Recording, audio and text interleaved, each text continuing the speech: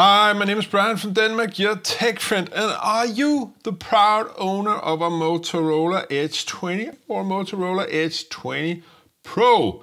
Then I got some bad news for you. And I advise you to smoke a peace pipe or enjoy some nicotine chewing gum whilst listening to this bad news. And just to get us in completely the right mood, a MIDI file of This Is The End by The Doors.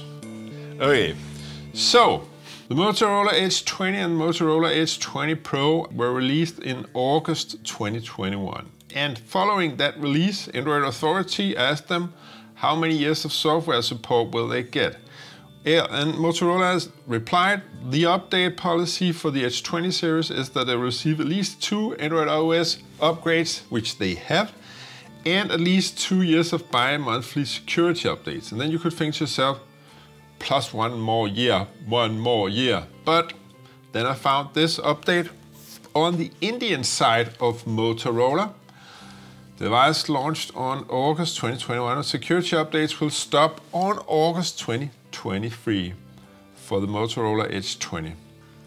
What about the Motorola Edge 20 Pro? Launched August 2021, security updates will stop on August 2023.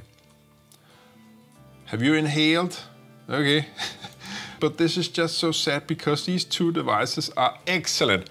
You could argue, actually, that the price difference is way too much at what they're listed at today, at least. I bought the Pro version just recently for $150, so that's a bit of a bargain compared to the old prices here, right? But the value difference of these two guys is way too much to uh, pay because the, the, the Edge 20 is such a good phone, whereas this is only a slightly better phone. You can just see it's got a better telescope camera and it's got a little more RAM and then it's got, on paper at least, a better CPU. In reality, I would argue they are approximately the same. The use experience on these two phones are exactly the same. They're both 6.7 inches and with exactly the same screen. So it's really basically the same phone in my opinion with only those small, small subtle changes. But what is it Motorola doing? Let me just show you this interest over time graph from Google Trends. And let me just stop the annoying background music, please. As soon as it passes half of its time on the media file, it's just plainly annoying. But look here, you can see the Edge 20, that's the blue line. It's like double Uh, in popularity as to the Edge 20 Pro, which is the red line. Okay, and that is actually something that is also right up to the, this date and time. Okay, and then came the Edge 30. And you can see here it was the Edge 30's release, enormously popular. The Edge 30 Ultra is the green line, not so popular, but still pretty popular. And now the Motorola Edge 40.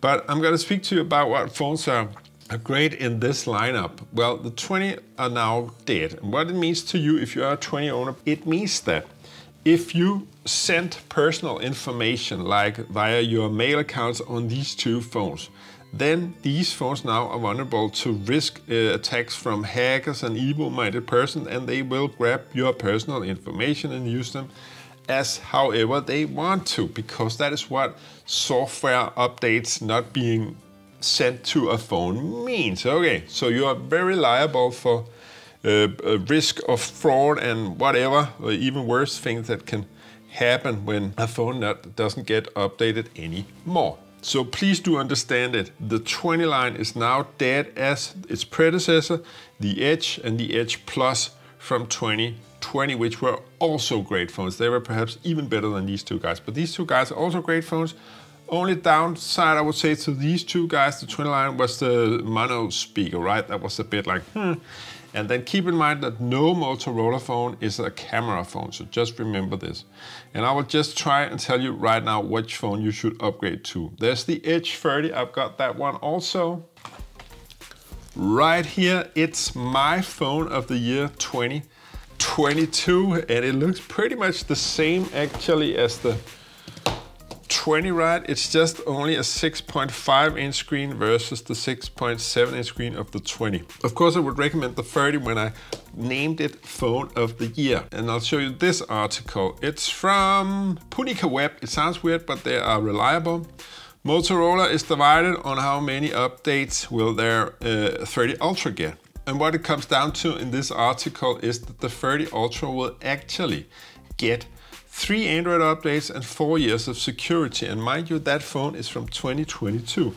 So you can do the maths. That means 2026, you can have the 30 Edge Ultra phone updated too. This is the Fusion, but it kind of looks like the Ultra. So that is a solid phone. I would actually recommend you to update to if you like Motorola and want to be in that environment and you come from 20.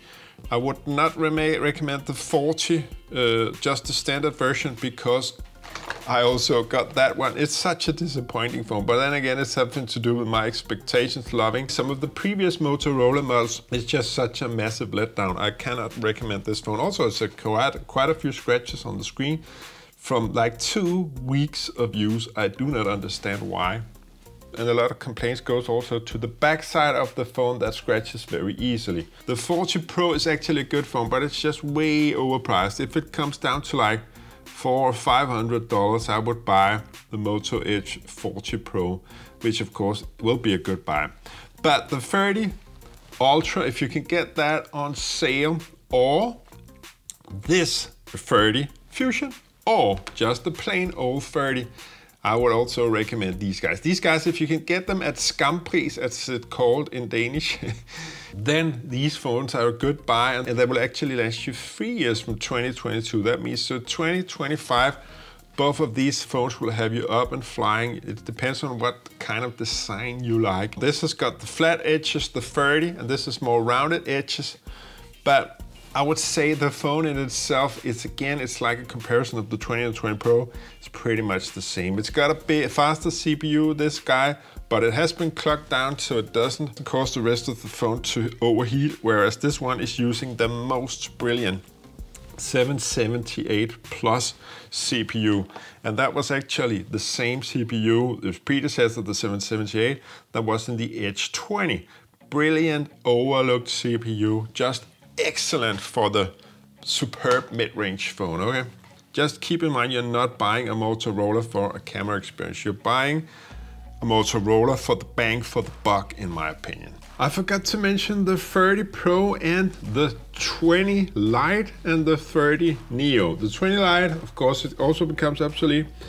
And the 30 Neo, you don't want to go there, but the 30 Pro could be a consideration if you can get it at Skampris because the security updates will end on February 2025, also according to Motorola's Indian page.